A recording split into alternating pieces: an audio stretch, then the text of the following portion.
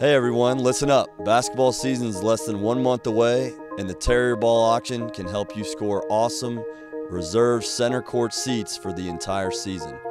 Go to the website listed on the screen and buy a raffle ticket for $25. Yes, $25 for a chance to win four reserved season tickets and a parking pass.